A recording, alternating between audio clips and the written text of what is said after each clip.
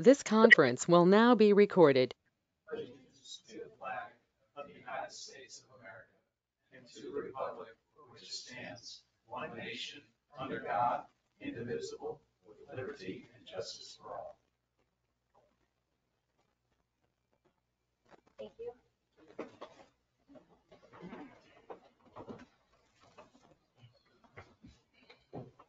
Okay, we'll call the meeting to order in consideration of this evening's agenda. If there are no changes, we'll move on to item number one, which is requests or comments from the public. If we do have any requests or comments this evening, please remember to state your name and address at the beginning of your comment. You'll have three minutes, and then toward the end, I'll give you a little signal to wrap it up. Mayor, the only comment I would have is on the agenda as published, number 10 is uh, being canceled. We, we, uh, the correspondence went out earlier today on that topic, and so the executive session is not necessary.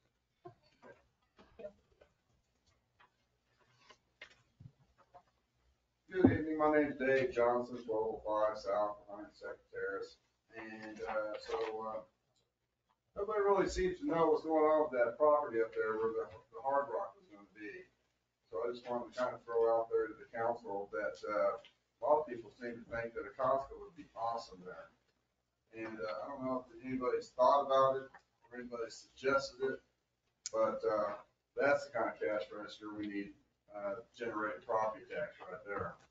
And it's something else that nobody else has in the area, like KCK, Sam's Club, all that stuff, so it would be perfect location. And, uh, so, just want to throw that one out there. Thank you. Thanks.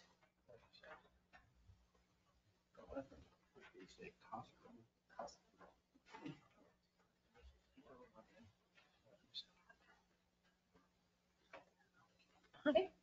There are no other comments. We'll move on to item number two, which is consistent approval of the consent agenda items. Um, if you, if anybody would like either A or B removed for, um, specific questions, we can, uh, consider that and ask those now. Otherwise, I'll hear a motion to approve item number two. Mayor, I make a motion to approve item two A and B as presented. Second. We have a motion from Councilman Malat and a second from Councilman Shriver. Will the clerk please call roll? Shriver, Yes. Scott, Yes. Adcock. Yes. Bishop, Yes. Malat, Yes. Item number three, consider selection of Gordon CPA as the city's auditor for the year ending in December thirty-first, twenty twenty-three. Thank you, Mayor, Mayor, Council. What you have before you is the background information for the 2023 audit and the auditor selection, which is staff is recommending Gordon CPA, that's Sean Gordon. We've worked with him since, his company since 2019. The original contract was three years, and then the next two years are one-year extension. This would be the last one-year extension, and then we would go out for, for qualifications and bids uh, for the 2024 audit. So in a sense, we're keeping with the same, the timing is pretty tough to go out for bids and do all that. We've been uh, more than satisfied with their response and, and the, and the methodology that they've used. We've been happy with their audits. Uh, There is a financial impact.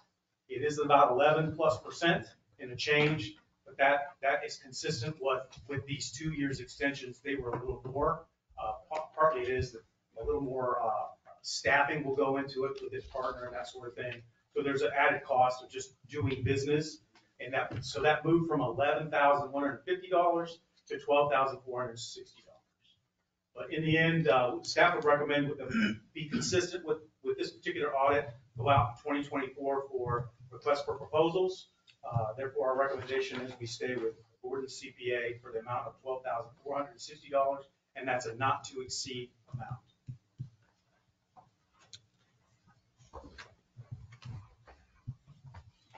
Make a motion to consider selecting Gordon CPA as the city's auditor for the year ending December 31st, 2023. second. We have a motion from Councilman Shriver, a second from Councilman Adcock. Will the I got- clerk, I have please- one question. oh, sorry, I had a That- question. Is that gonna be, uh, okay with, uh, the budget that we approved two weeks ago? Is that Yeah. gonna be included? Yes, sir. It's not gonna be impact that. Yeah.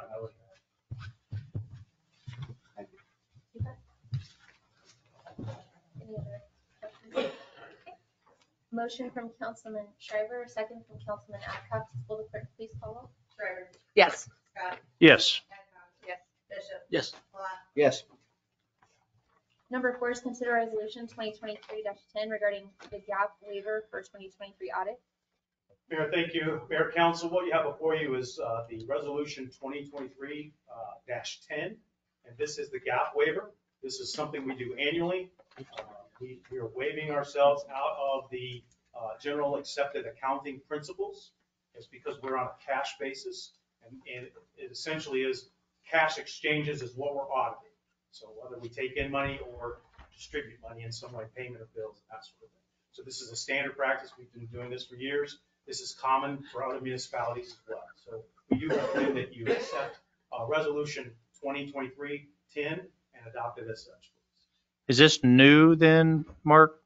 This GAAP waiver? Yeah. No, no, no. No, we do it, like I said, we do Every this year? annually, every year. Okay. We've done it for several. Several Okay. It's, it's, again, it's a common practice, uh, statutory lawfully, uh, lawful in the statutes. And we, th- th- this accounting standard, uh, we are on a cash basis. So very simply, we're just auditing our cash exchanges. Okay. That's what it is.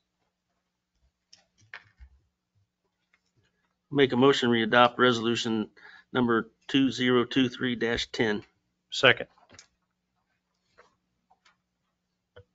We have a motion from Councilman Bishop and a second from Councilman Scott. Will the clerk please call roll? Uh, Shriver. I'm sorry, did you have a question? It was reversed, sorry. It- Oh, I'm so sorry. For the about note, that. sorry. I think it Bishop was, was the motion, Yes. correct? and oh, was the sorry. second. Okay, it's me. Sorry. That's okay. I'm sorry, everybody. Good to check. Will the clerk please call roll? Shriver, Yes. Scott, Yes. Adcox. Yes. Bishop, Yes. Malat, Yes. Item number five on the agenda is consider resolution 2023-11 fixing the time and place for a hearing to determine if the structure at one oh six hundred Kaw Drive is dangerous, unsafe, or unfit for human habitation. Mayor, I'm going to have uh, Captain Jeff Short make a presentation on this. Uh, Madam Mayor and Council, uh, before you, you have um, Resolution 2023-11. Um, We're just going to set a date for a public hearing regarding a dangerous and unfit structure at 10600 Kaw Drive. Um, The property itself has overgrown vegetation, a fallen tree on it, and numerous other code violations. Uh, City staff has conducted inspection of the structure and have deemed that there's multiple areas that are unfit and unsafe and it's deemed as a fire hazard to the community. Um, After adopting a resolution to set the hearing, it would need to be published in the Wyandotte Echo to move forward and giving the uh, property owners notice and a- attempt to come to the hearing. Um, And um, that date for the hearing, it looks like it would be set for the 20, excuse me, the 13th of November here at City Hall. Has there been any conversation with the owners? Yes, actually, so we move forward with our process because of the plight of the property. We have a process in place. We didn't want to put our time frame on them. We wanted to put them on ours. They have been in good communication with our uh, community service officer, Tom Haas, and they are actually in the works of uh, obtaining the proper permits to move forward with the demolition of it. So I don't know actually that this will come to that because we're in good communication with them. I think that they're going to make the efforts to do it on their, on, on their own accord, is what it sounds like so far. But we're going to move forward with our process, so we're not waiting on them. Thank you. I want to ask a question. It might be ridiculous, but I'm kind of ridiculous anyway. But um, they mined a lot out of that. They, they took a lot of excavation out of that. And I remember a few years back, we had uh, asked for mining fees for tonnage of money or tonnage of materials that were hauled out and that we were supposed to get as a city. Is there any records of us receiving any funds from that?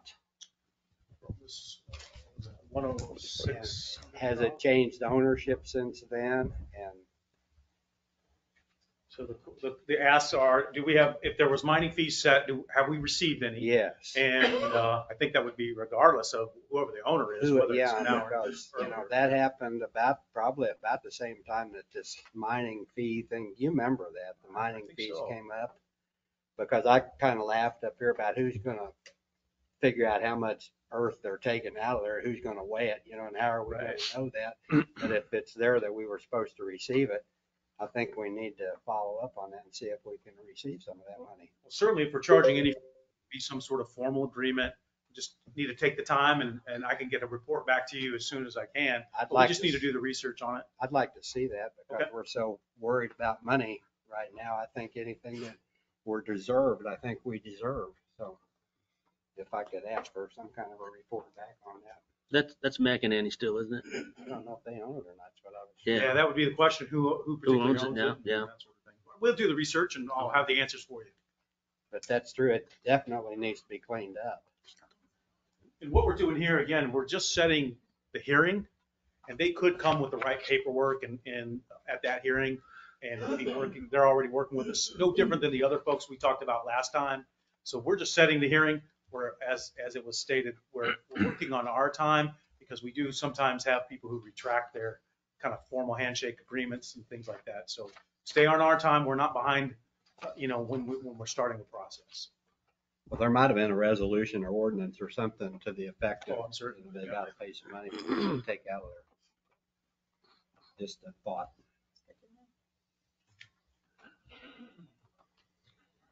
I'll make the motion to adopt resolution number 2023-11, setting the public hearing for November thirteenth, twenty twenty-three on or after six P M. Second. Anyone else have questions? comments?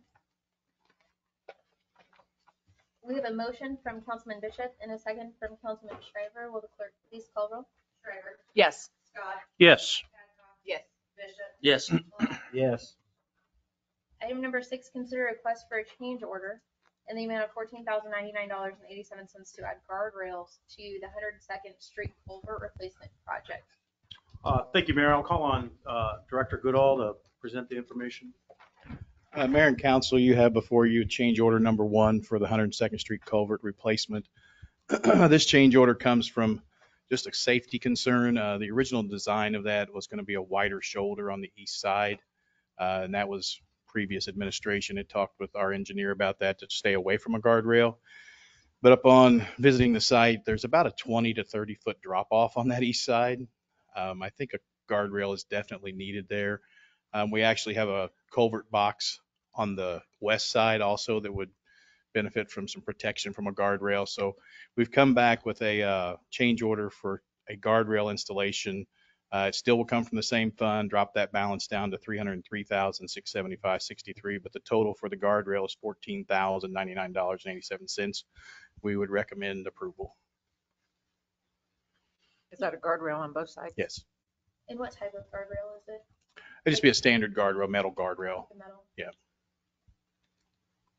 Madam Mayor, Council, if there's no other questions, um, make a motion to approve the installation of the guardrails by Legacy Underground Construction LLC in the amount of $14,099.87. I did have one quick question on the guardrail. Um, I know you said it was a previous administration that kind of kept that off of the, the, um, Design.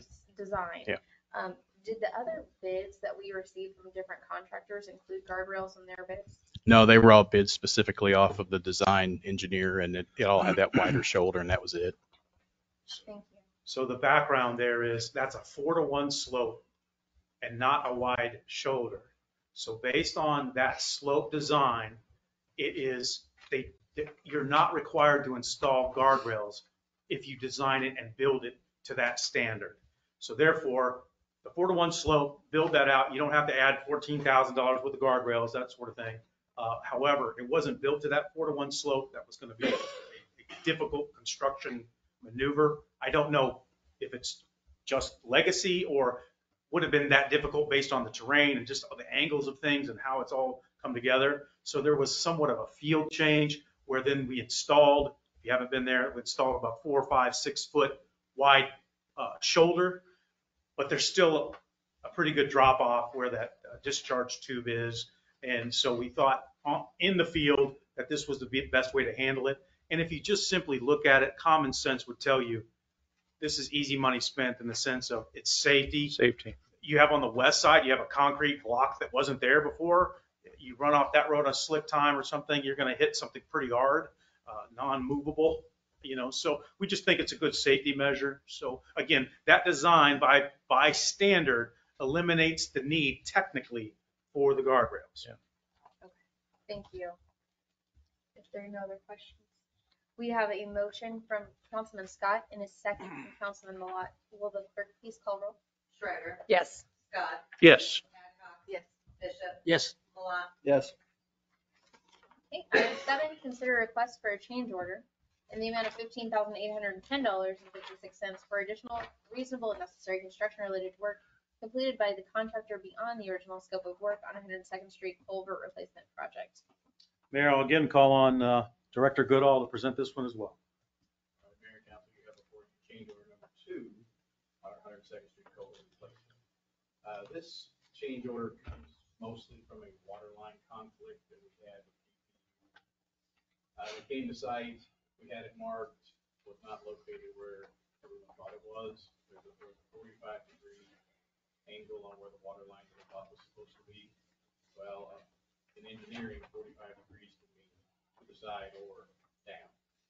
And everybody thought it went to the side, it didn't, it went down under, and uh, it was actually in conflict with our elevation of what we needed for the tube, so they had to relocate that line.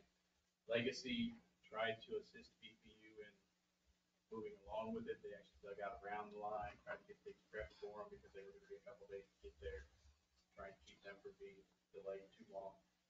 BPU finally showed up, they did relocate the line, but it relocated twice, or uh, Legacy showed up and the line was leaking. So they had to call it back and wait again.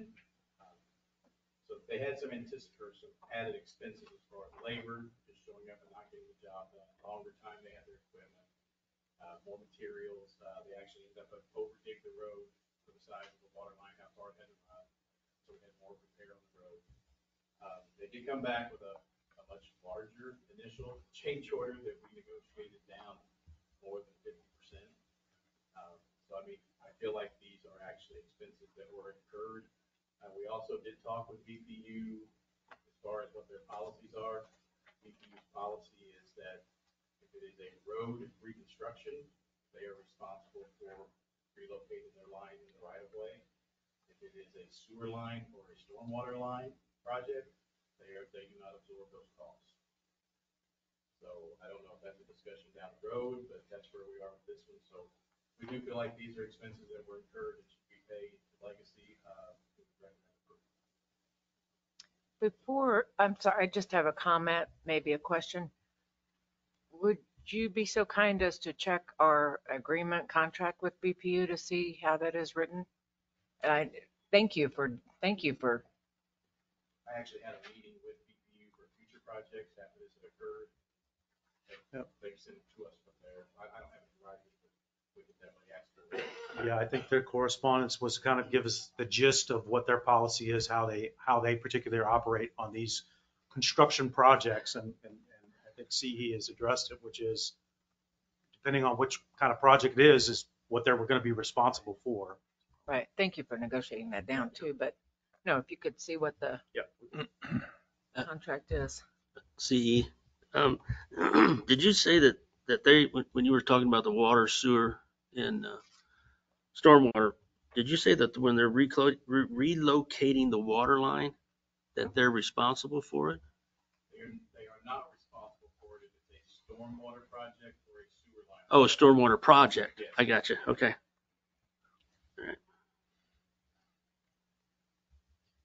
I did have a question about, there was a difference in the length of the project from where it started or where it was bid to where it ended up. Who changed the design length of the project though? and what was that And I, I change made? Okay, I do think CE described what, what happened is it starts with the BPU line and what our type of project is, which is the stormwater. And what, what happened based on uh, digging out the line, moving the line, making the adjustments and all that. It added some length to the road uh, resurfacing or replacement, as well as the thickness of the concrete. So there was two costs in there.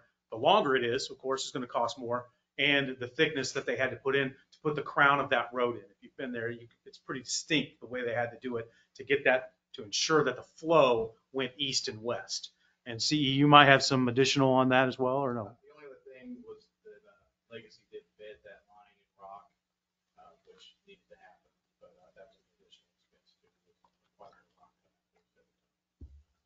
Could you tell me the original bid and then what we're actually gonna end up at for this project? Yeah, uh, CE, do you know the exact, it was 84,000 or 81,000 plus. Oh, it was 81,259. 81,259.50. 50. And then by the time we paid the two change orders, if you will, adding the guardrails, which believe me, I, I, I think they should have been bid in there originally, but here nor there. And then uh, paying this particular change order, which is work they really did and needed to be done. Uh, We're down, the balance of that particular uh, fund will be 287,865 and 7 cents.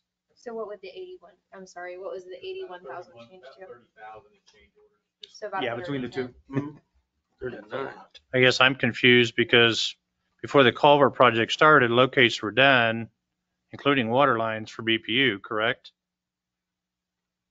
I mean, wouldn't there, Yes, wouldn't the original, located incorrectly. Yeah. That's what created the problem. Legacy was completely understanding that that line ran USIC. to the east and was gonna be out of the way. And they dug for about a day and a half. And then they finally called me, they're like, we can't find this water line. So we had BPU show up on site. And then they were like, oh, it goes right there. Well, then they had an engineer in the office look at their plans, and like, guys, I think that may go down instead of to the east. so did BPU do the l- original locates or was it No. by another locate company? Because Which does bring that into question, you know, I think they just looked at some plans and marked, they didn't go out there and locate the line. Well, that- Happened? it somehow makes us responsible for their, their inaccuracy on their locate. That's, I mean, they bid the project, you know, after seeing the locates, but I don't know, I have a little bit of a hard time with this one. I agree with Councilman Scott. I wonder if we should be talking to that third party to see if they would like to um, assist in some of the overage fees, since it was a lot due to their lack of diligence. Yeah, there's a lot of moving parts. I mm-hmm. think some investigation is going to be necessary as to where said blame lies and whether or not there is not some language and some agreement somewhere that they are not held responsible for some of these things. So we're going to have to do some digging for sure. They usually, on, if BPU didn't do the locates, you know, if that, if that is a UCC, I can't remember. the- USIC. Huh? USIC. Yeah, There you go. Yeah. So if that locate company does it, they have a do not exceed, you know, plus or minus three or four or five feet. And it sounds like two feet on this one. Well, sounds like they were, they missed it completely. The thing is, is the project was bid, there were no locates. The winning bidder called in their locates. Yeah. I mean, so they didn't, they didn't, uh. That's a challenge. Locate prior to. Okay, So yeah. I I mean, I don't know if we can say anything there. They did mislocate, but typically, the only way you go back on them is if they mislocate and they're outside your locate, that you get a line. So, Then it's on them. so you said locates were done after the bid was, And that's typical. Yeah, we, we bid out the project by the design, and then the, the uh, contractor will call in his locate so he can see Yeah. everything at that point. then, So the locator was hired by the contractors, not by the Well, city. they called it in. I mean, it- they're not really hired. Yeah, so- It's just a third party that everybody uses. I mean, it's just. Yeah. a- It's a free service. Yeah, it's free. It's, it's a free service and actually it's the law. yeah, But I You have, to call. I've ran Yeah. into this before. We were digging footings or something like that, and we come across a pipe. We didn't, this particular one we didn't hit, but it scraped it, and it was within their two feet. hmm And USIC ended up paying for us to relocate that line because it was in their two feet. So I think looking, you know, getting with them, you know, that, that if they mislocated, it's their fault. You know, But I think. you don't hit it. I think, and I agree with you too, but I think the point is what he's trying to say is that the bid was given, then the locates were done, and then, e- and then those locates were wrong, you know, which they had to make that change. So I was, I was kind of hoping that they did the locate first, but that doesn't sound like case. No, you'd never do that. Yeah, I think the order does matter.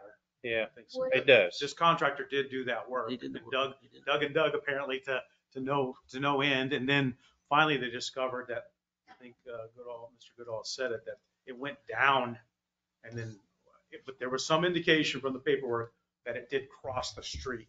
And that was, that's not accurate. And then, then what engages here is they're trying to find it. The next piece is now all the movement parts, right? They had to get BPU, they helped dig that, they helped replace all of it in some way because BPU doesn't do some of that work, so the contractor's responsible, put it in rock, do all these things, and that did add some costs. And again, they felt their cost was extremely higher.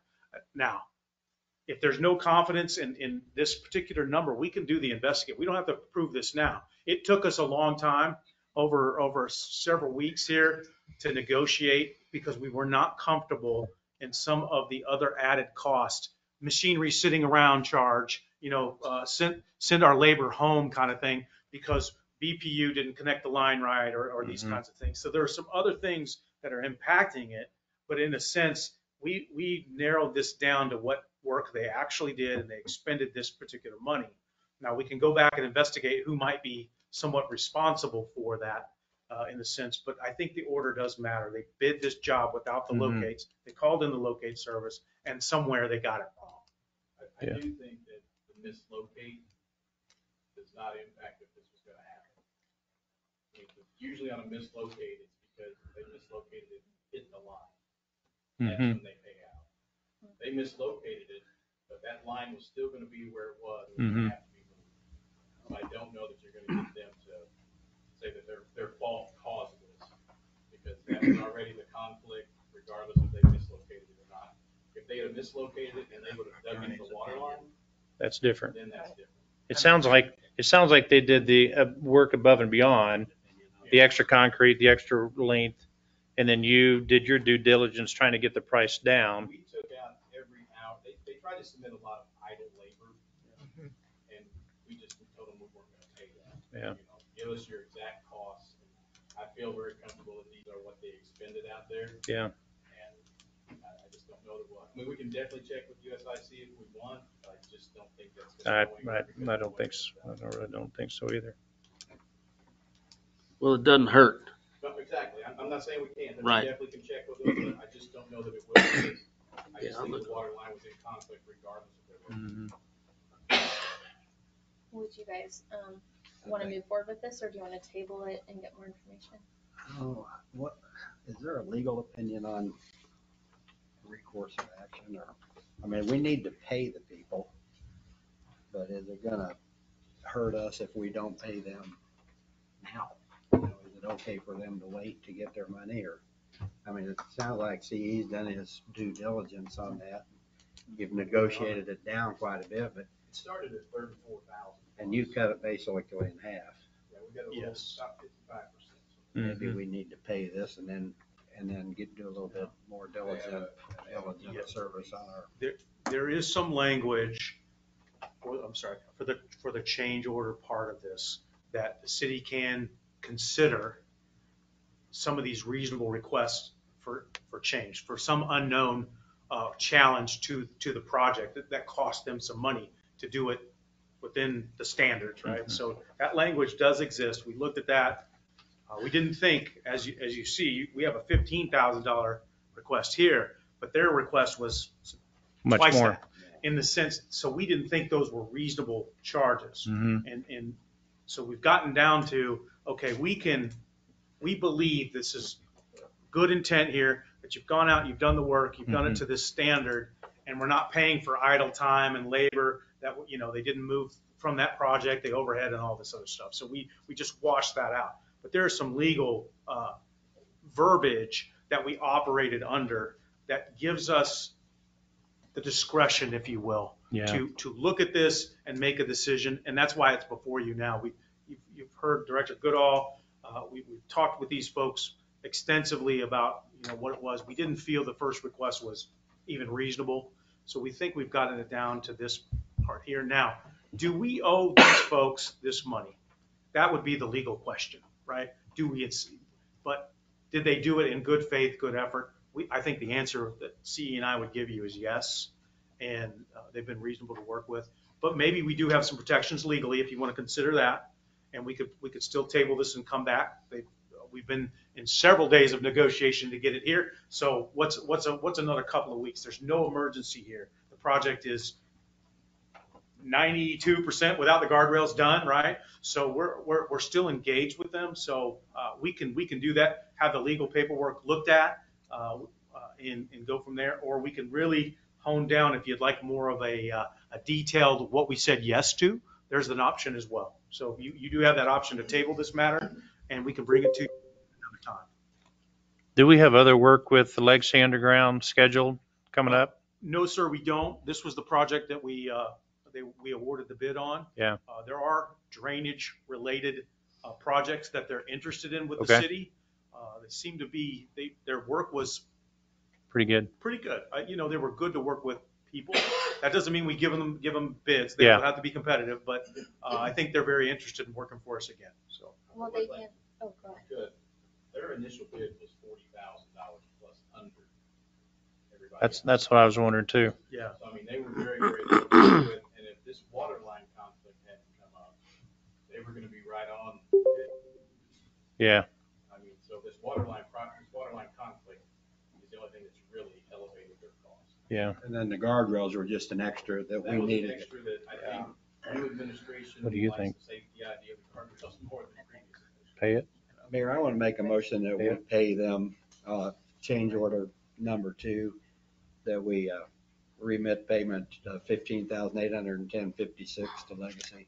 Would you uh, consider making as part of that motion, that that would be uh, uh, subject to final legal review of the release documents and change Sure. order documents? Rescind my motion to table the item until the October eighth meeting and bring back legal. Well, no, I think that you can make the motion to pay, but it would be Well, yeah, conditioned. but if you can negotiate it down ten thousand dollars more, that might even be a better way to do it. Motion to table till October eighth and get some more verbiage from the city attorney and city manager. Second.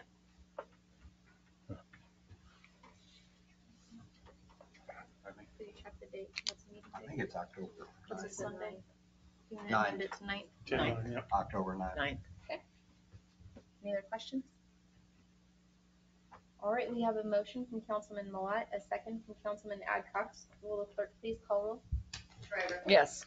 Scott, Yes. Adcox, Yes. Bishop, Yes. Malott, Yes, Item number eight, consider authorizing payment of nineteen thousand nine hundred one dollars and seven cents to Union Bank and Trust to cover outstanding twenty twenty-three vehicle purchase costs. Uh, Thank you, Mayor. Mayor, Council, what you have before you is the background describing kind of what the, what the issue uh, is, was. Uh, In a sense, we, we we lease payment vehicles. We pay them annually. Uh, We've had delays after delays of vehicles on order and that sort of thing. So what happened here, from all indications, is that a bill of about 13,000 plus was paid to an escrow account that was actually slated for these most current vehicles to be paid from, okay? So, and those current vehicles, they have about a 2,200 uh, added cost than the 18 months prior. So that the cost has risen, inflation, that sort of thing. And so the cost of purchasing and outfitting for each one of those is about 2,200 bucks a piece. So we're about 6,600 bucks plus another 1,300 plus. That is the $19,000. Uh, let me give you the exact 19,901 and seven cents. That's outstanding that we need to pay to the escrow so that the, the latest vendor can be completely made whole and paid out. So that, that's essentially what's happened here is there's been overpayments to an escrow in which payments shouldn't have gone there they were for previous vehicles and they should have gone to another account and they didn't. So we're correcting somewhat of an error and getting it paid. We didn't lose that money that we paid there. It went to the escrow, right? Went to the escrow and what happens is that escrow takes that in and they pay the checks out to, to the vendor. Okay, thank you.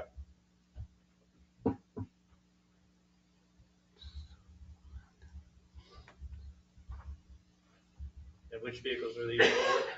Uh, The particular ones we're paying is the ones we financed for 164,211. And that, in the end, will be, they've changed from Ford to Dodge SUVs. Okay. And before long, we'll be financing, self-financing some of those. When, do you know when that'll Well, start? I wouldn't, yes, in the future, we, I think, you know, you're talking about that capital reserve fund that we created. Uh, And so essentially, it's, that is not funded yet. We anticipate selling any vehicles, that sort of stuff, and then parking that money to seed that particular end.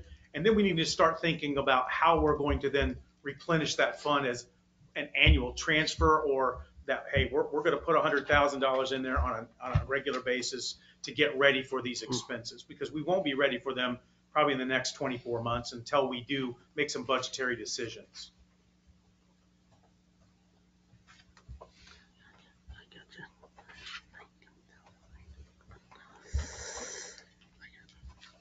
Got to pay the bills. Make a motion to authorize payment of nineteen thousand nine hundred and one oh seven to Union Bank and Trust to satisfy an outstanding balance related to vehicle purposes. Second. We have a motion from Councilman Malat and a second from Councilman Bishop. Will the clerk please call roll?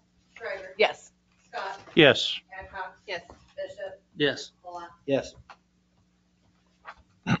Item number nine, consider amending resolution twenty twenty-three 9 to extend the publishing dates and hearing date due to mispublication by the publisher. Uh, Mayor, thank you. Mayor, council, uh, I apologize for the confusion. I had several asks about, this looked like the same one from- from earlier today. But this is the resolution that we passed two weeks ago uh, to set a public hearing. Now, in, under these particular uh, situations, these unfit or dangerous structures, when we set the hearing date, we have to publish it consecutively, one week and then the next week. So those instructions were sent to the publisher. However, in error, they didn't publish a second time.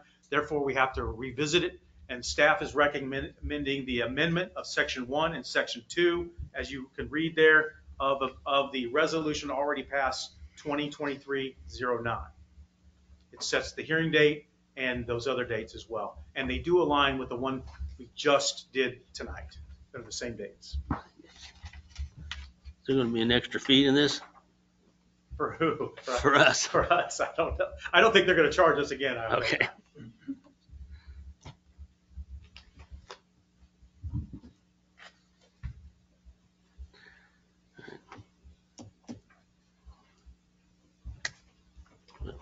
Where's it at? I'll make the motion to approve resolution number two zero two three oh nine for the date to be We're amending the dates. amending the dates to, Section one, section- yeah, section one and section two. There we go. second. We have a motion from Councilman Bishop and a second from Councilman Malat. Will the clerk please call roll? Shriver, Yes. Scott, Yes. Adcox, Yes. Bishop, Yes, Malat. Yes,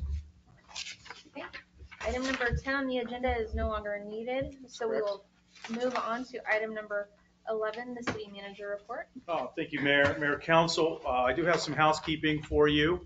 Uh, We do have candidate interviews, and you will be assembling.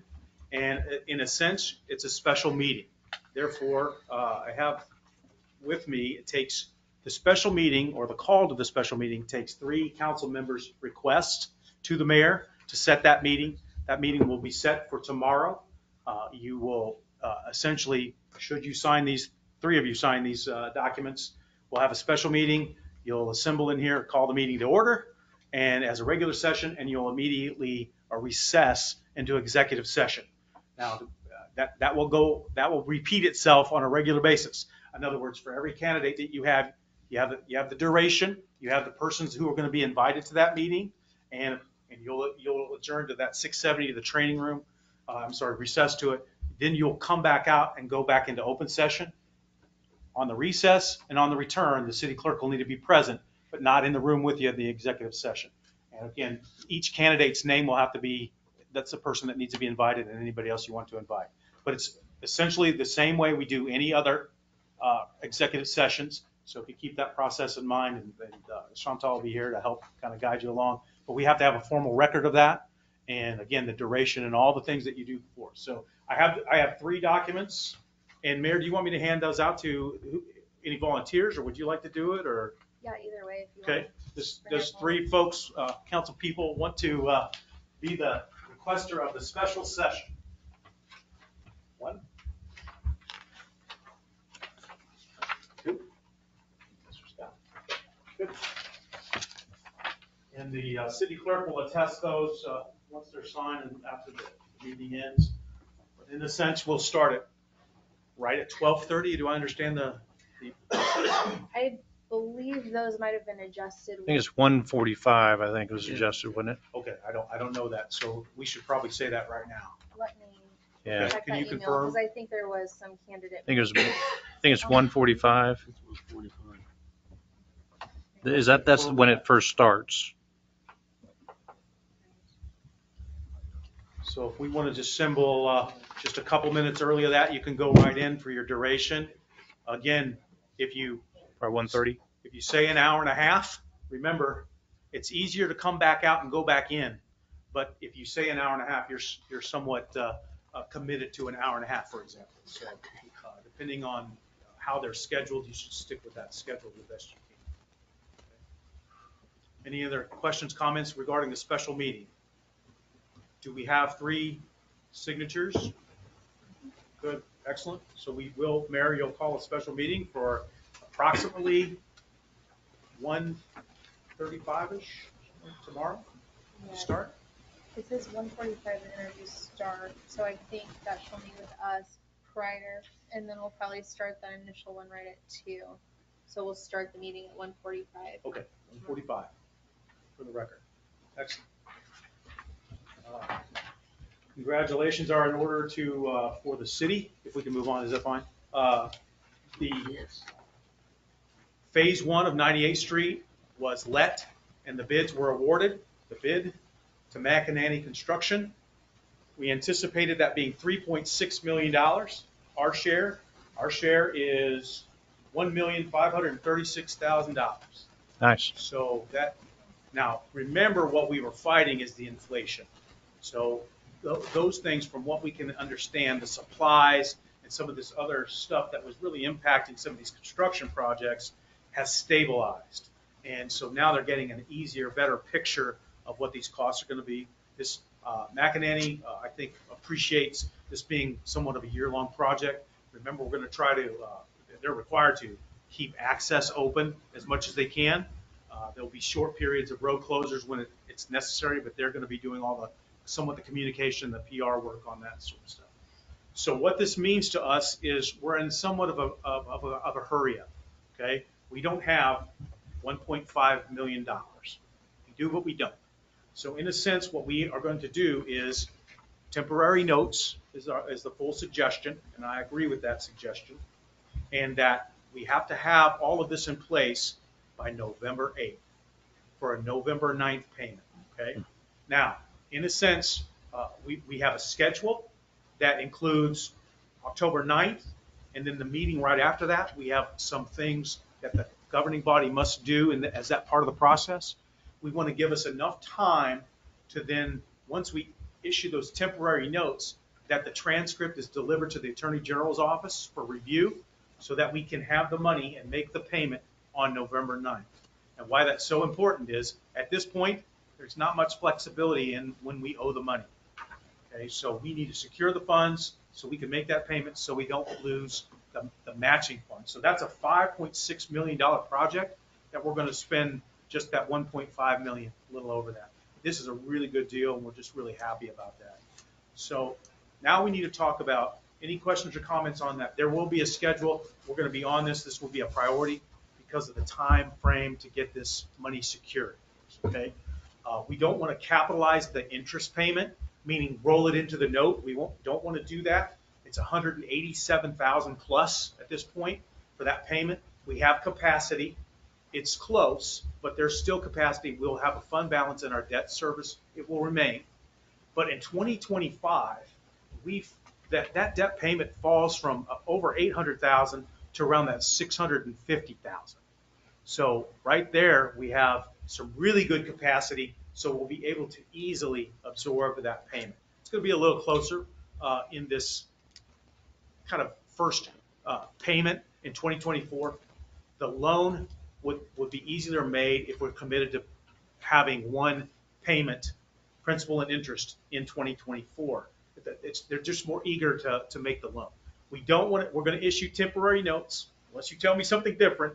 Uh, our expectation is temporary notes, we're better off because some of these projects have some flexibility in their kind of this, well, you just seen a change order of, you know, had we paid the full price, it's thirty thousand above on an eighty-one thousand dollar project or something, right? So these things do happen, and so we want to have the flexibility of the temporary notes that we come in a little short or a little long in some way, and that we're able to essentially capitalize on that money and use it best to these projects.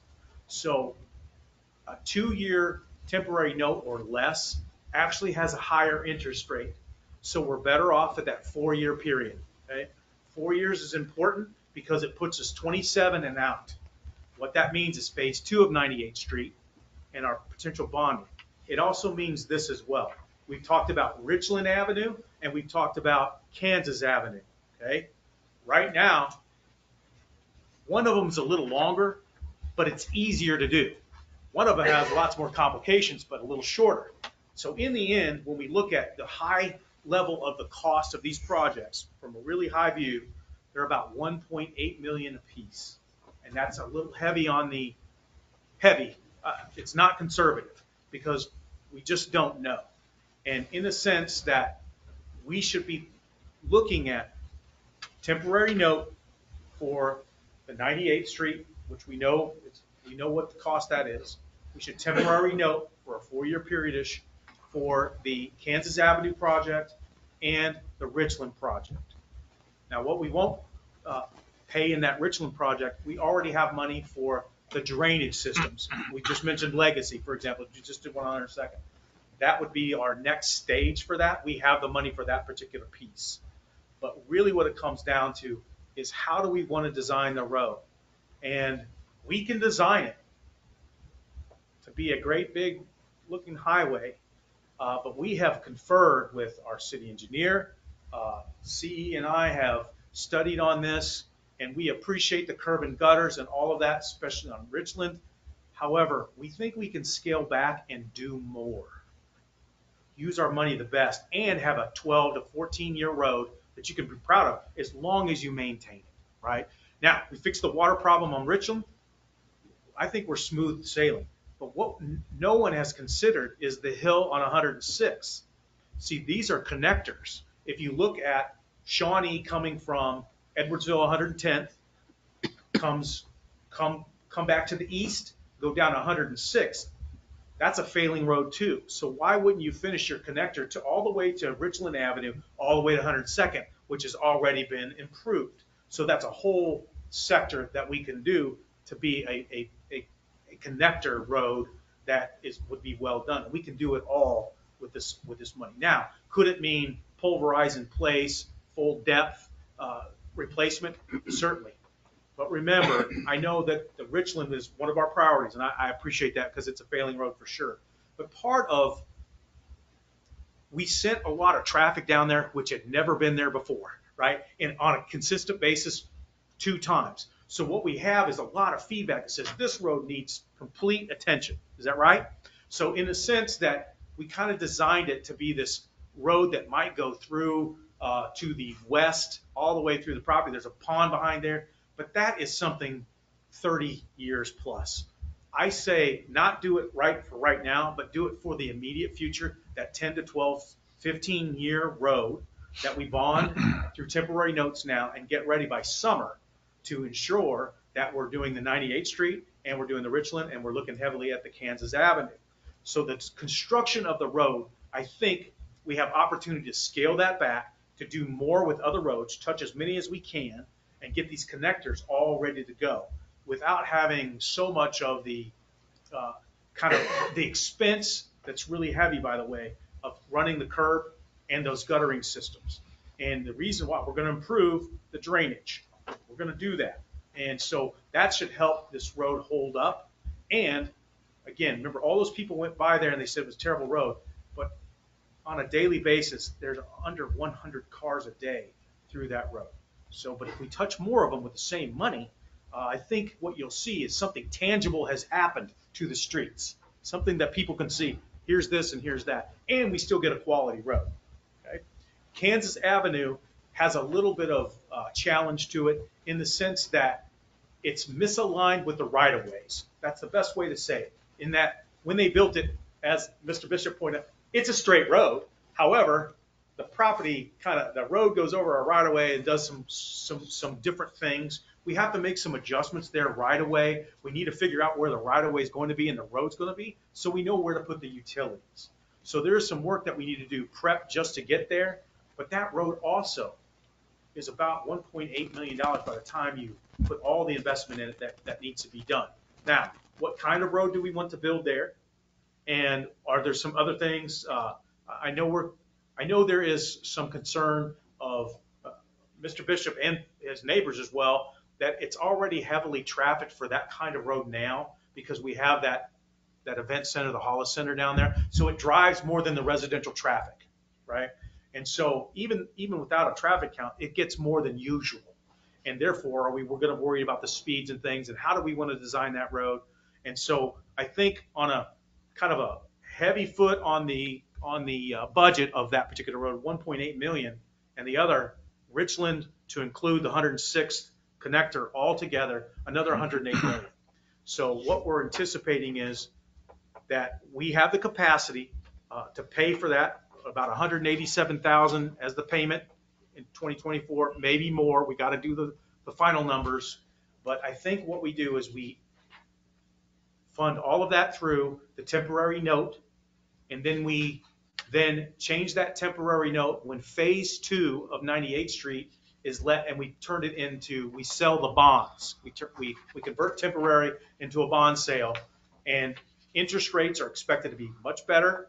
Uh, the, the amount of money helps in what we're doing, and in the sense of how much it's going to cost us to have that uh, note and things like that. So that is pretty high level view of what kind of we're moving towards. No matter all of that, we have to focus on at least the 1.5 million plus for the KDOT project. That's kind of small potatoes in the bond market. Okay, that's, that's not, it, it sounds like a whole lot of money. It certainly does to me. But in the sense of how we want to finance these projects and the timing, by the time we're ready in four years, if we do these and have this money, and hopefully we come out better ahead when we get the actual cost to Kansas Avenue, 106 all the way down to Richland, that we're in a better position. And there will be money in the sense that maybe we can touch some other roads as well. And we should know that, especially when we get the hard, the, the really the hard figures to those projects. Again, these are all dependent on what you decide, the level of road that you want to build. So I think this is the funding mechanism piece that, that staff needs to go forward with. Again, I've, it comes down to, we definitely need to do the, the DOT project for sure. Uh, I, I just think the timing is really good for us. And so I will yield to any discussion, Mayor, and uh, however you direct me. Um, well, I did a little bit of research. I've had uh, residents calling me pretty consistently about Kansas Avenue since we had decided um, early in the spring to address that in 2023. And so when I was digging, I found the um, hot shot where it said for Speaker Road, we've dedicated $130,000 to that. Second Street, $40,000 to that from this year's budget. Richland, we had 225,000 to that. In Kansas, we had 160,000 dedicated to that. So I guess my question would be on, especially the Richland and the Kansas Avenue, is that money still going to be earmarked and ready to go toward those projects, or we, is there anything we're doing this year to address those with those funds? Yeah, those are good questions because it's 190,000 for all the pre-construction, the survey, all the engineering, and uh, for both of those, they're so very similar that the engineering is about the same cost as well as the build cost, just at that high level view. Uh, just because again, one's more complex, one's longer, one's shorter, that sort of thing. But in the sense, it, it really depends on what's not clear is where this money is coming from. And I just got to go back and, and, and some of these are designated in street and drainage. Okay, that, that may be a bonded, uh, fund that we have, seven twenty-nine, for example, it says street and drainage or something, right? It- So when you look at that, there's not really a project list that I can find associated. But I'm presuming that there are already funds that are ready to pay for the, uh, the initial, like the pre-construction, the surveying, where we're gonna put the road and so, and we've been getting those bills in, I can tell that much. And so I'll, I'll research that a little more, but in the sense, this would be a part of those costs. So right now, from, from what I can tell from, uh, these sheets that I was given, uh, there isn't too many, uh, there isn't, this is about clearing and grubbing, uh, storm pipes, all of that other stuff, not the pre-construction stuff. So I'm, I'm, I'm, I'm almost presuming that this set aside money is for those things, and this bid of one point eight, or just a high level overview of a cost of the road is not gonna include those things. So this would probably be the build cost, and this would be the surveying engineering cost. Okay, and, and I can, I'll send that to you so you can see, like, it has a description in what was included. Okay.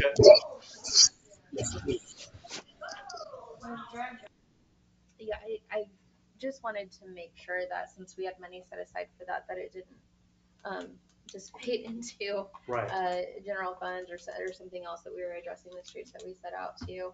Um, I also wanted to know, I- and you probably have looked into this or might, might intend to, I know everything's been really busy, but there's a lot, um, billions of federal dollars set aside specifically for infrastructure, and a lot of that might be applicable to stormwater in our city. And so I wonder if there might be any grant funding that we could apply to the state to help with these costs. Yeah, um, there are programs, yes. But unfortunately, that doesn't, yeah, in, in time, it would certainly, uh, timing really is the key here, unfortunately. And it's, it's on me, just like it's quickly on you. It's like, hey, guys, what do you want to do, you know? So, so this thing is just, they just awarded this bid, and now we're talking about how best to finance things. So like the infrastructure and some of this other stuff, maybe, uh, I know it was presented, uh, Mr. Malott suggested that we need to address stormwater in the old town and that, the the sewer, and, you know, ARPA could be related, but that wouldn't even touch that project. It's just so expensive. And thus, this may be some of that, that, that looks to the future, and/or could we combine because remember, if we fund these construction, road construction projects, we'd then be able to redesignate them to other road construction projects. So if there's, if somehow we look in the next year or so that these particular uh, infrastructure monies are available through granting or whatever, we could still probably use them and they'll have a surplus in these other accounts and then which we can redesignate to say, hey, we're going to repair Second Street or High Street or something else. So that, that, that's always possible. We're just issuing temporary notes that will have this cash in this account and that we're designated to spend it on these road projects. And therefore, like, like we understood in the, the building acquisition, acquisition, we know legally, we just have to redefine these, send a script to the Attorney General, have it approved, and then we can use the money for other purposes. So I think there's our, kind of our saving grace, if you will. Any direction. I know there's, there is a schedule. It's quick. You're going to see a couple things before you on the ninth. And then again, uh, remind me, the 20-something uh, meeting. That calendar is a long way away for 52-year-old eyes, so without their glasses. Twenty-third's the next. 23rd, okay, Yeah. so we will have a couple of things there. We have asked KDOT today to extend one more week because that ninth is a very hard timeline. Um, What I'll plan to do is, they haven't responded on the KDOT thing, I'm hoping they will. It's just to give us a little more buffer, because the obstacle here to meeting the deadline is really the Attorney General's office reviewing the, the easy script and putting their stamp on it. But as government goes, government goes slow, so, uh, want to miss any deadlines, and we don't want to give up these STP funds that we were awarded on this project. I mean, the government's paying quite a bit of money for this, this project, so And how long do we have to decide before the STP? Because it's a, a lot of information tonight. it is a lot of, that's why I'm briefing you now, and we will start with the schedule. uh, we will get all of the financing package together, and then we'll start to really talk about that by the ninth. We'll have some formal discussions. I'll, I'll try not to overly communicate it too much, but as things really evolve, I want you to be abreast of these things because some important decisions have to be made. And it's, by the time you get to the end of the October, you really don't have much time to table it. We'd have to have a special meeting between then and the ninth. And we, and these things need to keep rolling because they are on a firm timeline. So what I'm going to do, unless there's an absolute no, we're going to package these projects up as one piece and these designations for this amount of money, and then we'll see what that looks like, and you'll be able to tell what the payment's gonna be and how it impacts our debt services, right? That debt service is the one you have ten point four mils assigned to, okay? Would that be okay if I proceed that way? And, uh, we'll get, we'll get our expertise from, uh, Piper Sandler, they're our financial advisors, and we have our bond attorney already engaged, so we think we can hit this timeline. I think that'd be helpful so we know the full picture of what the request is. I will do it. Let's see, is there anything, let me look at my pack stack here so I don't forget. uh, Uh, thank you to, uh, our great employees who worked on the festival. They got kind of handed off, you know, and between employees going and coming and that sort of thing. But, uh, Brenda and Elizabeth did a terrific job with what they were handed and, and it was a good thing they were apprised of the, of the project early on. Uh, we did, we did end up with some good sponsorships. It was, it, the whole year has been down somewhat in that area. Uh, the volunteerism, we just simply didn't have it, but they really stepped up. As you noticed, we had approved a beer garden for the project, but the Chamber of Commerce was going different directions and and it really didn't communicate well, so they didn't have that piece of it. I don't know if we missed it or not. They did pay us a- a vendor fee as somewhat of a donation, and, and we were able to uh, offset some of the cost. Uh, The city uh, contributes about six thousand dollars to Autumn Fest, and uh, they- they, they, did well with the money. I, I just really appreciate what they've done, and uh, we gave them a couple of gift cards for all their work, and, and uh, they handled it, re- they just really, we, we're in good hands if next year, and the, and the coordination, they're ready to go. They already have it mapped out and everything, so good job to them. And Mayor, I think that is it. City Oh, attorney, city attorney. whatever. Now it's good. Um, I just want to follow up on last meeting. Uh, This, if this is a separate agenda item for a future meeting, that's fine, but I had talked some about the possibility of seeking an attorney general opinion about the nature of the city council mayor. um, uh, Roles in the budget and other ordinance processes. I didn't know if there was direction from the council of me actually wanting me to reach out, or if that was just, I kind of left it as that's an option, but nothing was really decided, so at least wanted to bring that up again, and because that would take some time to have to court their interest, so to speak. But since there is a previous attorney general opinion from the nineteen eighties, that I think it, it, there's a precedent for the attorney general opining on such things, and so I'm not saying they would take it, but it's, it's something I could do if that's the will of the body. Yes. Yes. I've asked for it three or four times Or from me, to the city. I've requested that. I think it's important that we know that. if that's a consensus, I can, I can, I can do it. What would, what are the costs going to be incurred with it approximately? What is, is there going to be any outside costs No. for the city? Your research, your, any, any work No, added I- on to you? I mean, I would, I've already done the research that I thought I got to that point. So it's basically you Sorry, reach, You're you're quiet speaker. Sorry. basically you're reaching out to the Attorney Yeah, it's General just to where see you if said They are interested in, in could take a while for that providing response. that, Yeah, and if there's a split in the body, I don't, I don't know. And I'm confused, so their, the Attorney General's answer is the Bible. No, it Oh. would be persuasive authority.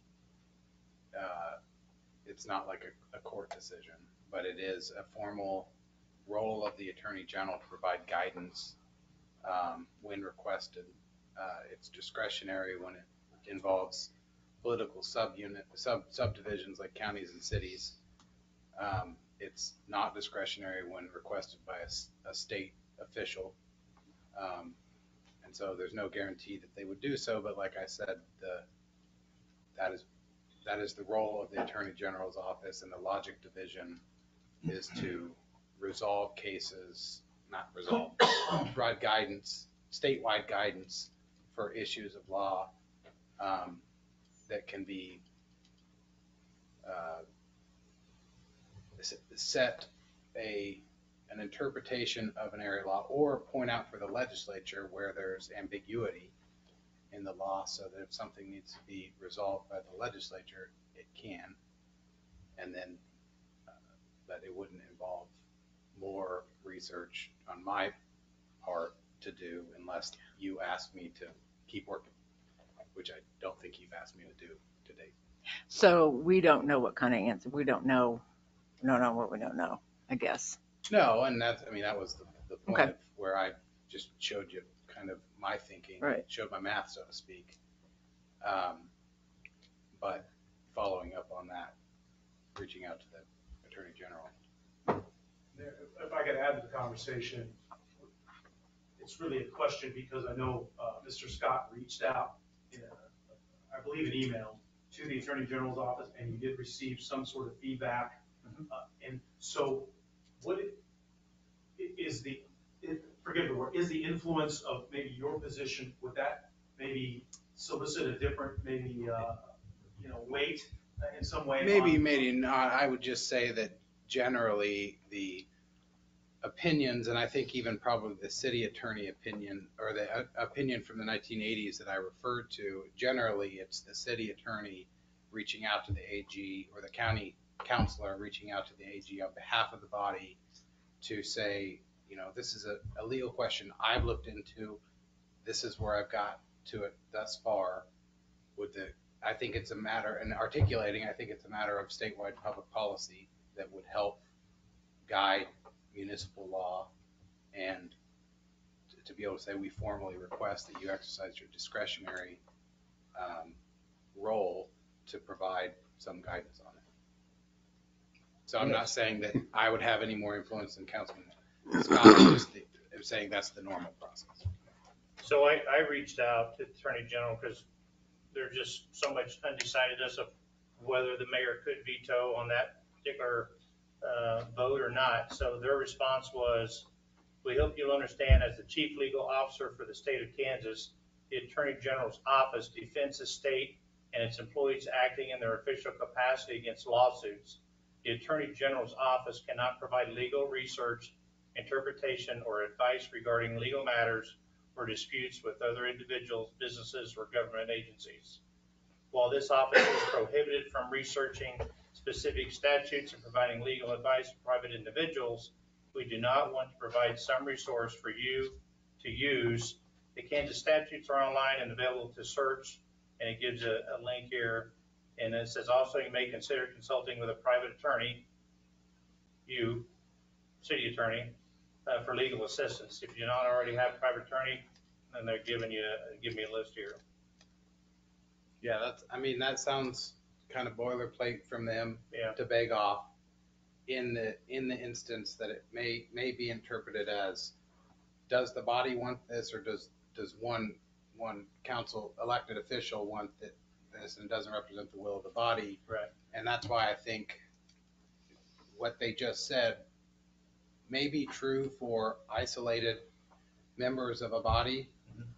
but it would carry more weight if if the council itself was asking it through the city attorney or the city manager. Right.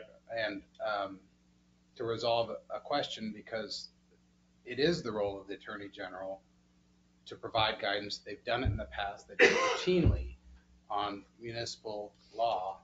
The question is, every attorney general's administration probably has a different view of its own resources. And so Attorney General Schmidt might have taken certain matters up, whereas Attorney General Kobach wouldn't, as far as their logic, division of resources available. So I'm not guaranteeing that we would even be able to court interest, but it's my. Yeah, I think, I think for, for me, you know, I think we asked that question, you know, the first time when the veto came out.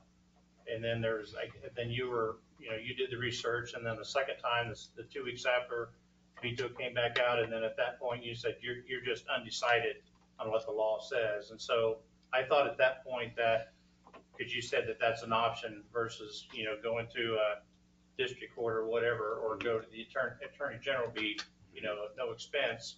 And I thought that's when you would, you, you know, you would do that automatically. But I emailed them and then 24 hours, I had that response back. I was pretty impressed with their response back. But Yeah. uh, I, I think for me, I just, I I know the mayor, mayor has that power, but I just, you know, I've been told by several different legal, uh, you know, counselors, if you will, that not in this case, not on the budgetary, you know, type of, uh, you know, vote that we did. I think the mayor has the power of veto on ordinances, but not necessarily on the budget because it's not an ordinance, if I understood that correctly. So I think it's just more clarity for us or for me in the future, you know, what, you know, what, you know, what can we expect or not, but Yeah, and I mean, that's I mean, that's po- just me. that was the point of me providing what I consider to be a little bit more of extensive, here, here are the arguments on both ways. And I, if there are other second opinions, third opinions that would provide that, that type of analysis to say, we know that you're a city, a council city for purposes of twelve three zero zero three, and this is why, that would help the, the process. But it, it seems like, at least in my, my experience, as far as resolving these complicated matters where you seem to have two, three, four, or five conflicting statutes, not, in- not to even mention the fact that the ordinance contemplates a veto power that doesn't mention appropriation like twelve three zero zero three, that you actually have to do the work. And the ju, any judge looking at it would have to do the mental work to get through the analysis to say, and this is why. And so that's, that's what I think the Attorney General's office would, would provide versus just kind of knee jerk, well, of course, this statute provides or, or, or that statute provides, because I will grant the statutes seem to provide a lot of different conflicting things, and that's, that's where we found ourselves. And I, do- I do not, as city attorney, want to find ourselves in that situation again, especially under a time crunch, um, where we have to get something passed. I want to be able to make sure I provide as much value to you well in advance, so that you can, each one of you can make decisions uh, based on your own elected mandate uh, as far as how to vote.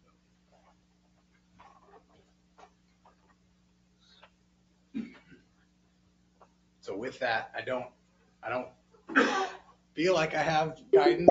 Maybe it's a discussion for another day of, of the body uh, and, and it, me reaching out, I, and I'm not saying I- I or anyone else would get a different answer.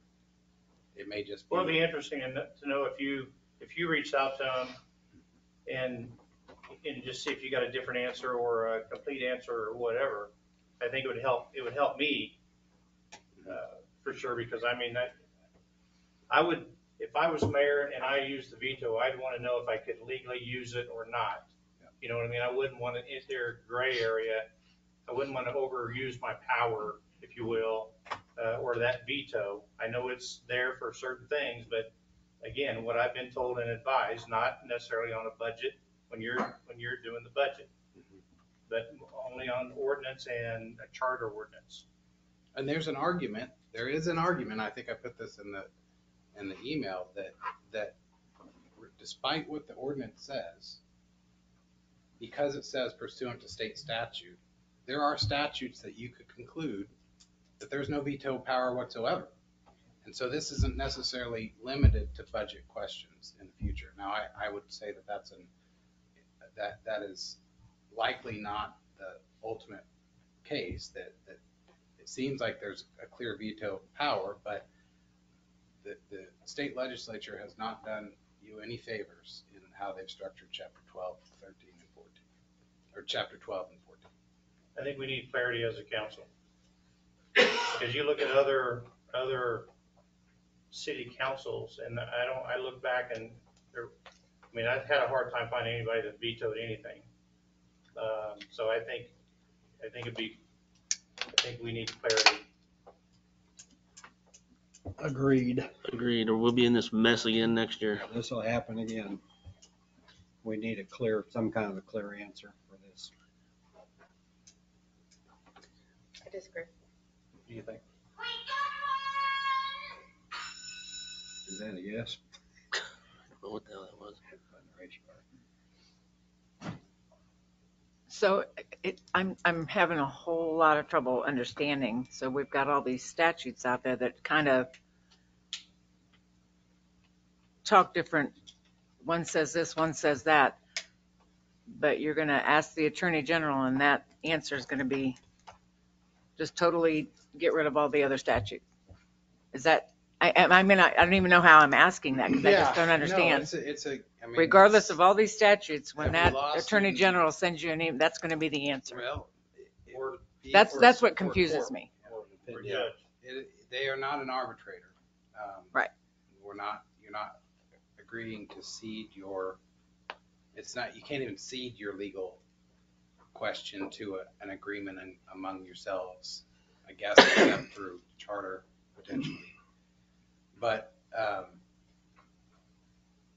I, th- I think it would be, if it's going to be issued and say they were to take it up and they were to issue something in three months or four months or whatever, um, to update or clarify the 1980s, uh, 82, 84 um, opinion, that would not only provide guidance for us, but it would provide guidance for, um, for the entire state regarding cities of the second class in a city or a, a mayor, council, mayor, manager form of government.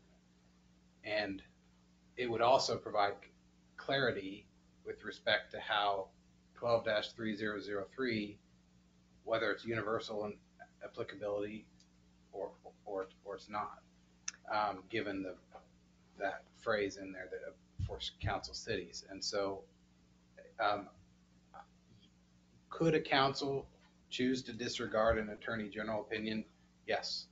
It is not binding authority, it's uh, persuasive authority. But it would at least provide a little bit of arm's length, which I try, I'm trying to provide. Right, And you're, it's difficult sometimes to. you brought us two or provide three different Because answers. you guys disagree with one another, and I'm not the, I'm not the attorney for any one of you, I'm the attorney for the body, the governing body. Right. And, and so to provide my best read on it, it would at least provide a level up opinion. Um, But you could, you can choose to disregard my opinion. I mean, if I were to come out and one side or the other versus the I don't know, which I hate that that's where I ended up, but that's where I ended up because it's, it, it's not clear and there's no case law on it. There's no attorney general opinion on it. Um, You could, you could have chose to disregard and say, well, we got, we got the votes, let's go forward. Um, But I think there's value, to answer your question, Councilman Shri- Shriver, that I think there's value in the potential for a more uh, statewide resolution of these issues. Because at the very least, the interpretation of KSA twelve three zero zero three and how far it goes in terms of limiting what types of mayors' authorities um, is an open question. What does our, do we have a city ordinance explaining this right now? Yes, The the charter powers. ordinance gives, and, and I think you alluded to it, is that, uh, it says it's one point zero three A, number six, okay, subsection six. So it says, the mayor shall have the power to approve or to veto any ordinance as the law of the state shall prescribe. And What our council was telling us is that that's where the ambiguity sets in, because what state law? Which one? Or the absence of one, right? In the sense, is there a prohibition, is there approval, you know, you, right? What, what is it? So that's where the charter ordinance, uh, leaves some ambiguity, because when you refer back to the state law, forgive me if I'm overstepping here, common layperson description here is that there's not one specific one that absolutely says for absolutely certain that this is yes or no. Can you do it? Yes. Can you do it? No. That's where the ambiguity comes in. Therefore, he's, he's written this in his statement. He's, he's, his best guidance to you is legal avenues, the attorney general, persuasive but not binding. That, those were your options, and they still remain that today. And we do have at least one piece of feedback that says the attorney general doesn't do this kind of work. But you've heard, uh, contrary to that, there may be some weight given because it does come from a city attorney. But we, the risk is we get the same answer or we get an answer that we don't like, right? Or we get the answer that we do like. So there's, there's these kind of things, you know? I think at this point, I don't know if it's a, I don't think it's a like or dislike. I think it's just more clarity. I mean, the, the vote's there, you know, that we agreed on what we agreed on. I think it's more for the future. And I think, again, for me, and if I was mayor, I would want to know if I'm using a, a tool that was, that I thought was at my resource, sh- can I use it or should I not use it? And if there's, I think for me, if I was, if I didn't know, yes or no, I would probably lean about not using it because I wasn't sure if I could use it or not legally. Uh, so I think it's just, like I said, it's not necessary for a yes or no, just, just so we know in the future. Well, it's not on fire tonight. Yeah, Uh, in two weeks, if there is a desire to at least task me with that, uh, I, I don't know how that would necessarily work, if it needs to be a formal motion, if it's not a consensus, then, um, you know, we can take it as it comes, but I, that, I wanted to follow up on that since I suggested that, but obviously there, we were very tired at the end of last meeting. It was very late, and so that was probably not on everyone's topic. I'd like to ask the mayor, I mean, I think it's up to her. I mean, would you like to know yes or no, if you could use that or not? Um, Or was you advised that you could use it when you did it? I wasn't advised from anyone except for my own research and looking at our ordinances and it said as the state should prescribe and the state didn't say I couldn't. I'll tell you the feedback that I got from the residents and they were very thankful that someone was looking out for them and speaking up for them. And so, um, little, uh, past precedent is every year before this, at least ten years back in the minutes, the mayor actually had a vote on the budget. And and what we're talking about now says the person, the highest elected official in the city would have zero say in the budget, which is one of the most important things that we vote on as a governing body. And I don't think that's appropriate to say the highest elected official in the city has zero say on the budget. So um, I can tell you where I stand on it. I think that it's appropriate for the mayor to have some sort of say in this, whether it's a veto or a vote. I can tell you where the residents stand on it and, and residents feel free, feel free to uh, tell me if there's another opinion, but um, every single resident that I spoke to after that was very thankful uh, for for the veto at that particular vote, just to have us reconsider and try to work together a little bit further as a as a group and and find some consensus on that. Um, I think that you've given us something to think about. Maybe we'll we'll discuss and and come back to you um, if if it's not urgent to decide today. Um, and then if, uh, we want to move forward any particular direction, we can discuss that. I disagree. I think we should ask for an attorney general's opinion on it. The sooner the better. I think the mayor overstepped her authority. I don't remember the mayor's voting for the budgets. I remember the mayor's recommending budgets. I think that, that there was so much discussion on the budget. I think three people finally relented somewhat. I know two people barely relented on the budget. I think it's more important issue than that. I think we need an opinion. We're talking about money, money, money on streets and projects and how we're gonna finance them. We're trying to build city facilities. If you build streets and you don't have curbs and gutters, you're gonna have to have employees to clean the ditches out and keep the streets up. I don't think that, I think that this needs to be solved as soon as possible. And I think we need to, I'd like to make a motion to request the attorney, to request the attorney general an opinion on this subject. Would that technically be amending the agenda? I don't care what you gotta do. I just think we need to do it. I have, However you need to amend the agenda or whatever.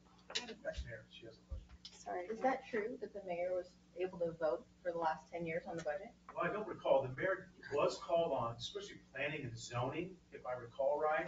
Uh, We'd have to, do- sh- I, I would trust that she's done, her mayor, that you've done your research and that there was, there was some vote. Uh, I know during transition, and Mayor, you can confirm this or not, that there was some discussion, we wanted a legal opinion as to the, I, I guess, not the veto, but the vote or the authority of the mayor, and that there was that we could look back to precedents, something we were already doing in practice, if we had it in our ordinance, if I recall right, and I think that this is some research you did. Uh, in the, or that some of these were defined maybe by statute and the ordinance. uh, we- We figured out that, hey, some of this we were doing wrong. That's as simple as I can put it. I have, I haven't found that particular document to say these were absolute. I know there were some email exchanges from the previous administration to say, we're, we're defining this, but there was a past practice that involved the mayor's voting. I just can't say what specific categories. I would be interested in, to know that, because then I would want to know Well- why, you know, that it, What, uh, it's planning and zoning is a different function of the Right. board. It's a, it's a quasi judicial function in which you're, you have a law already set, your planning code, and then you have an application, and so you're sitting as an adjudicator. You're, you are determining whether the application for use of the land or variance in that use in the land is, meets with the code, and you can, and so if you were to be sued on that, uh, it would because, it would be within you acting as a quasi judicial, uh, body. And there's very limited basis for challenging that. Um, The legislative function of passing a, a budget, um, is, is different and that's why we found ourselves back into, well, what's, who votes on it? A, and B, does the mayor have the ability to, to veto it? So I didn't mean to open up old wounds, so to speak, but at the same time, I, I at least wanted to be able to articulate that to me, the, the rule of law, even in Edwardsville, Kansas, is ultimately what is going to provide not only you, but the, the citizens with the most certainty uh, in the future. And it's my job to, to shepherd, safeguard that law. And I think that it, it would be something of a constitutional crisis if the council believed it had passed one ordinance and uh, the mayor believed she vetoed that same ordinance without a, a- a veto-proof majority of the council. That was the constitutional crisis that I was trying to, or in this case, ordinance crisis, where it, I was trying to articulate last time, which you were able to avert because there was consensus on a, a budget. Um, and so I mention it solely to say that I, I want you to continue to view me as a resource for the entire body. And sometimes that can mean drafting competing proposals of the same policy, meaning as a resource for you all to be able to debate and deliberate um, each, each uh, meeting. um, And to give you the options when there is a severe disagreement. And one of the options I at least found this time is that I do think it's of significant amount, uh, uh, enough uh, public importance of statewide concern that if the Attorney General or someone in the Attorney General's office is trying to beg off, that they should have a- the best case made for, for taking the case, so to speak. Well, I just believe, excuse me, if I would just believe though, if we should have clarity in this matter.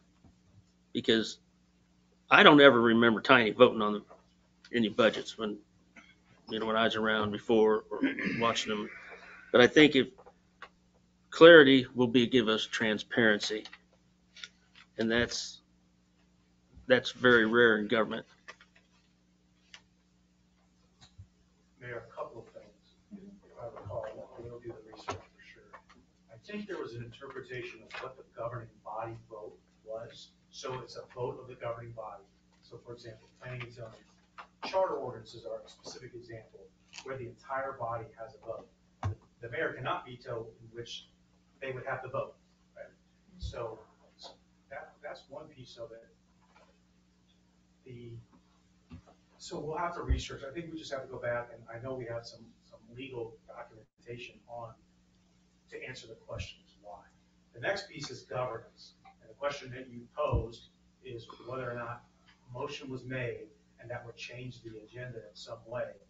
The resolution that we passed, I think, had intent to address these things because they're a matter of public concern and they're not on the published agenda.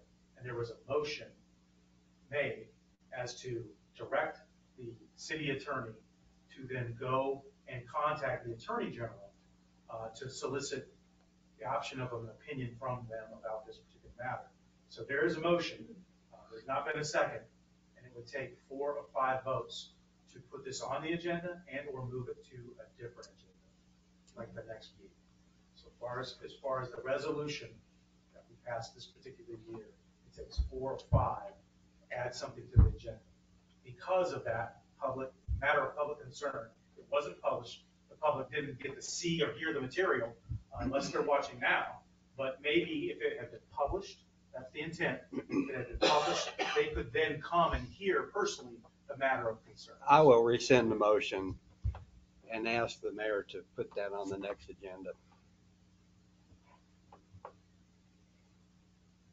Um, Does it have to be on the agenda to just I ask guess, the attorney to get it I guess. looked at, or? We haven't got much power up here. I mean, We you- just that's here. totally up to you. I I just answered the question that was All posed. we do is. I mean, he I just think asked. the question that I have is the, I believe, and I don't want to misinterpret, that the concern is regarding a veto on a budget. When is the next time we're voting on a budget? Well, it could be the next ordinance that comes up Well, that's that not we could what's, be stalemated on. I mean, you know, this is something that's gonna accelerate. I can guarantee you, this is gonna accelerate. so this, I would request that this item be put on the agenda for the next meeting. but the question wasn't about the veto regarding ordinance. It's a veto regarding the budget. And so what I'm, what I'm saying is, it might be all right to sit and consider. I don't set the agenda at this meeting or the next one. That's something I can take under consideration, um, in moving forward, in, in considering for the next meeting.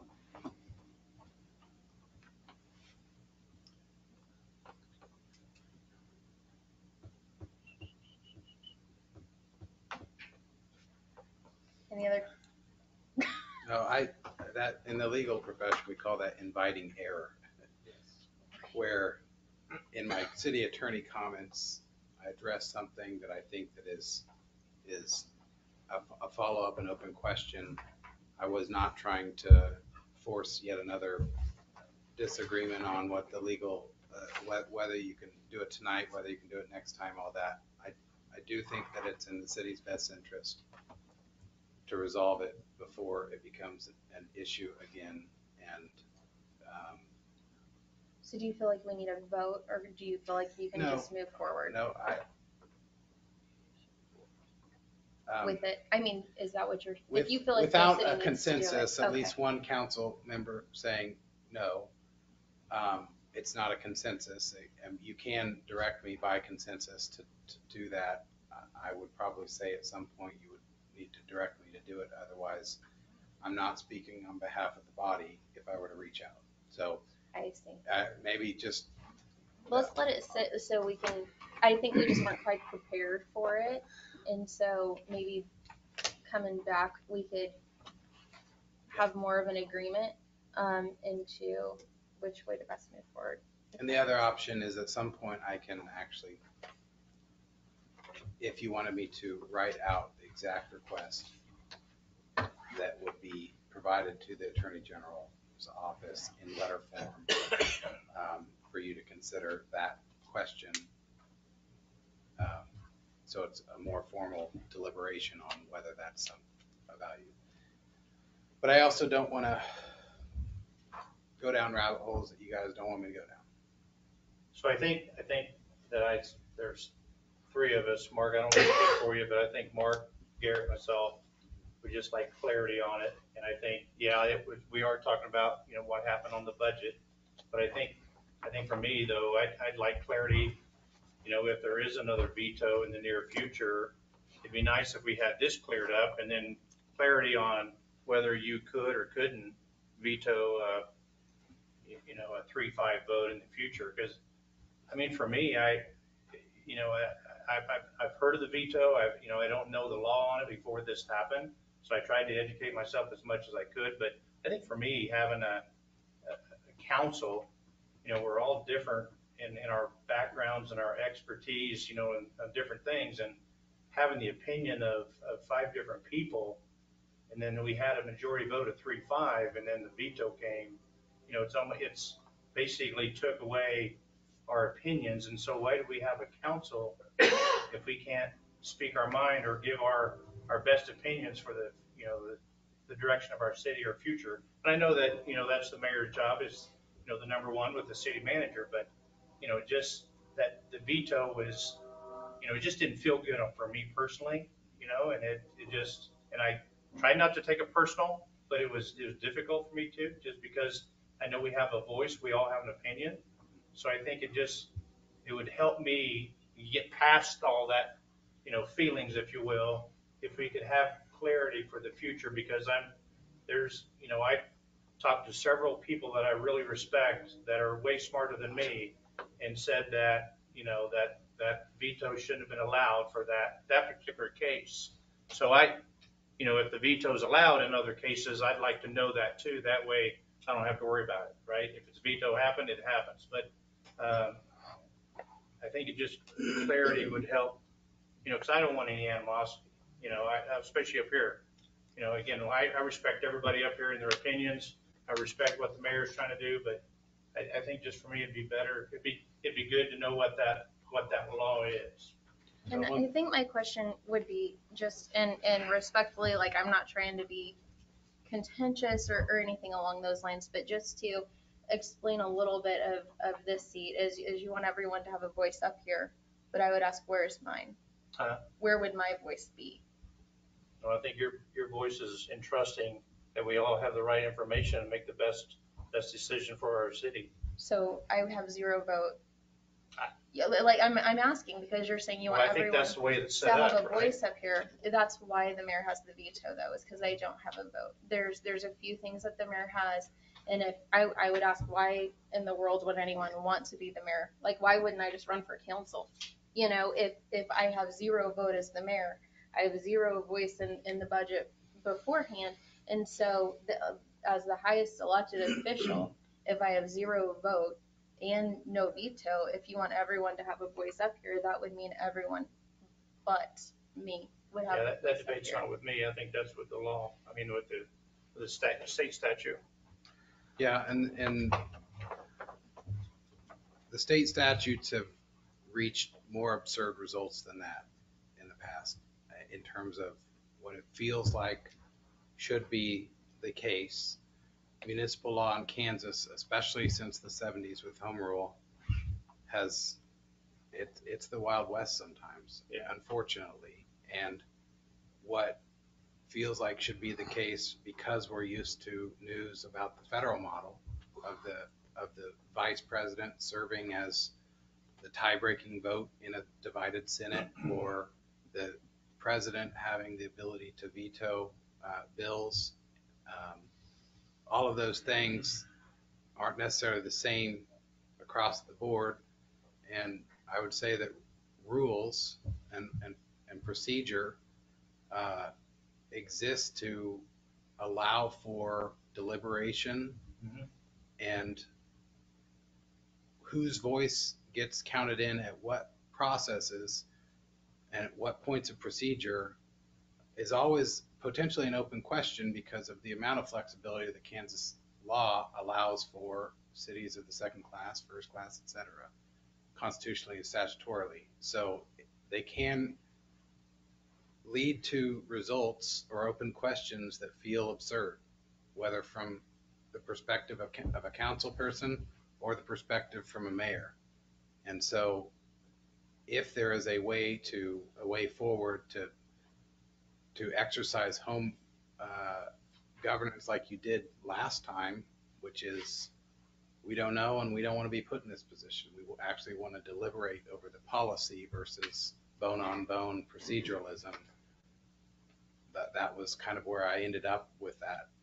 Um, Because a knee jerk, well, yeah, mayor has voted veto power, or no, the mayor doesn't have veto power without showing the math doesn't help with the public trust either. And for the people that have provided you with those answers, I welcome, welcome. Show me, I'd love to see their math. Yeah. Because my opinion could change uh, based on, well, here's the clear ra-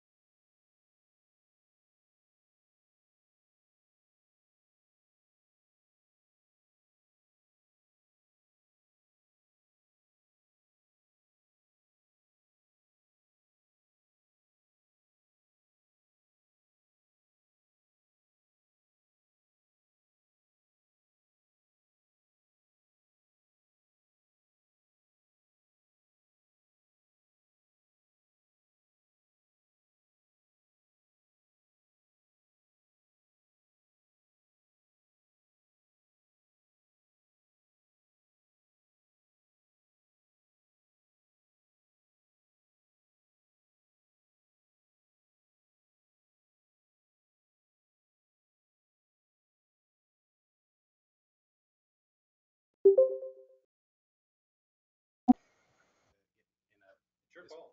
I know, inviting error. Uh, I don't want to get a dispute about whether you can amend the agenda at this point, four votes, three votes, five votes, whatever it is. Like, it's, it's fine, but I do think it's an open question. The other thing I would,